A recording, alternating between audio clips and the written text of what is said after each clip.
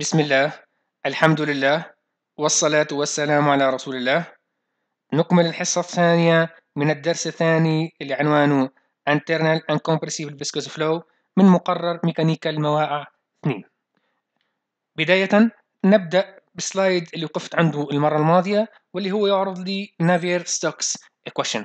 قلنا Navier-Stokes equation نجاوب على السؤال اللي طرحته في آخر الحصة الماضية في عندي ترم على اليسار في عندي هنا 1 2 3 and 4 terms فهنا derived from conservation of momentum نلقى Navier-Stokes equation for incompressible flow of Newton constant viscosity fluid فراح نشوف جميع الترمات أو many terms what means of any terms بداية بما أني قلت kinematic viscosity لو اعتبرتها constant فيمكن لل term هذا راح يساوي بالطريقة هذه يعني del operator point nu. del operator of u يمكن إخراج kinematic viscosity برا تصبح هنا del operator square. طيب ال term الأول اللي هو ال term du على dt وهو ال term الوحيد الموجود على اليسار. فهنا عندي derived of u على دي تي يعني derived السرعة على الزمن فهذا يعطيني إيش؟ يعطيني acceleration term. يعني إيش؟ يعني change of velocity with time. يساوي الترم الأول اللي هو advection term ماذا يعني advection term؟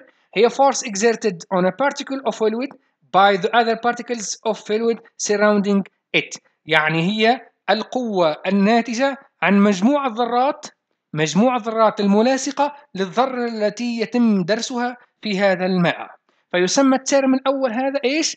advection term plus ال term الثاني وهو ال term إيش؟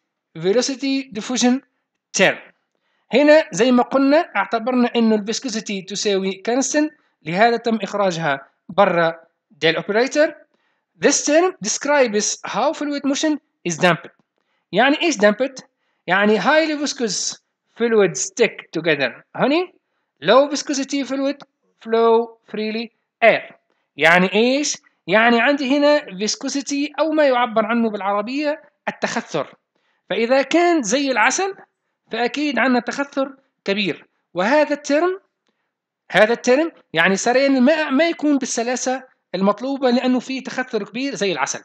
ولكن إذا كان ال viscosity عندي ضعيفة زي الهواء فالتخثر حقته ما فيه تقريبا فيصبح ال term هذا neglect أو مهمل.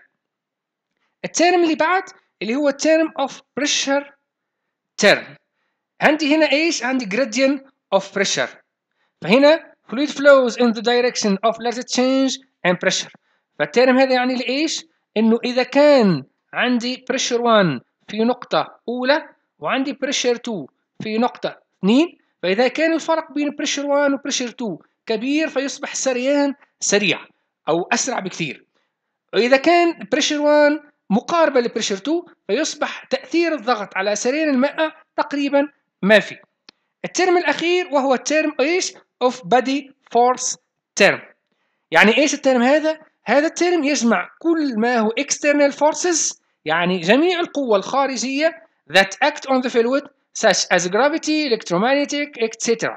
فهنا يعني جميع القوى الخارجية عن الماء فهنا لو بغيت نلخص فعندي acceleration advection term بعدين ال term المسؤول عن التخثر بعدين ال term اللي يجي من الضغط وال term الأخير هو term of force هنا نكون خلصت المحاضرة هذه فقط أود طرح سؤال.